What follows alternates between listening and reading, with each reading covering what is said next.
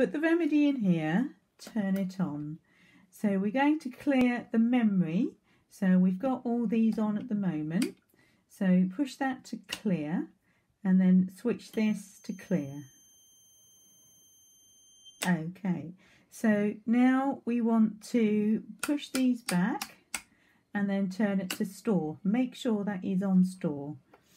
So we're going to make a drainage remedy. So rate A 2185 lock with the star button. B potency 18 lock. Now we go over here, turn it on and push active.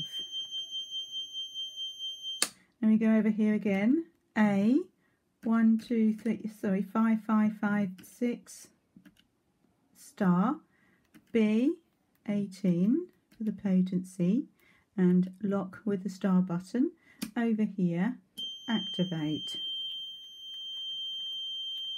Over here, so remedy A, 5322, star, B, 12, these are all C's. So we've locked it in. And then we want the third one on, activate. And then we make the uh, combination. Press the combination. You'll see the make button here. Uh, that light will come on. Okay. And that's the remedy. That's all done. So now we can turn it off. And what I usually do, just give it a shake just to, cuff it.